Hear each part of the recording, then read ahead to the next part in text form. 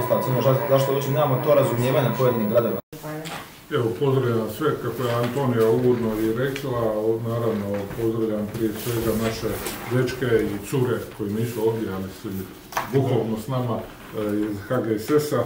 stanice Šibenik, naravno i gospođu Sanju Slavicu Matešić, iz čijeg upravnog i preko čijeg upravnog odjela ova sredstva i dolaze. Ono što ne treba posebno naglašavati da smo mi županija koja je i turistička, ali s druge strane i brdsko-planinska i pomorska, tako da nam se brojni izazovi pojavljuju tijekom normalnog života rada prilikom posjeta naših turista, tako da e, ovakva jedna služba koja je utemeljena na volontarizmu, koja je stvarno dobrovoljna i koja daje puno svakog svoga člana,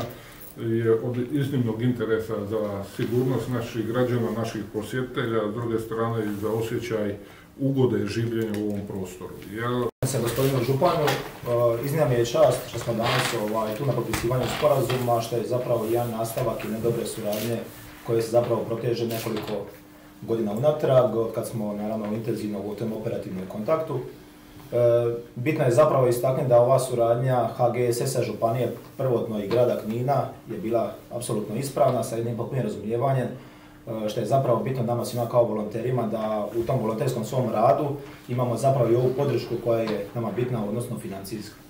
Ta financijska podrška zapravo nam je bitna da mi kompletno jašamo sustav civilne zaštite na našem području, ulažemo u opremu, pratimo tehnike spašavanja u svijetu tako da bi mogli adekvatno odgovoriti jedan dan u slučaju akcija traganja i spašavanja koje su redovne, ali isto tako u slučaju izvanrednih situacija koje imamo e, kao su e, potresi, poplavi tako. Tako da nekako evo s ove sada instance želim poslati poruku da zapravo e, prethodno gradi Knin i Šibensko-Kninska županija zapravo imaju jedno potpuno razumijevanje što zapravo smatram da bi se trebalo pretočiti na sve druge jedinice, jer trenutno naravno imamo situaciju da HGSS kao temeljna operativna snaga sustava civilne zaštite na određenim lokalnim razinama nije prepoznata, što zapravo nije dobro. Nekakav iznos, ali sam ja namjerno htio da novinari dođu, ne, e,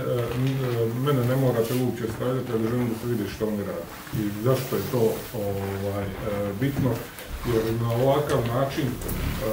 mi u biti dajemo do značenja, ono ljudi uopće nisu svjesni da treba ulagati u sustav, znači to je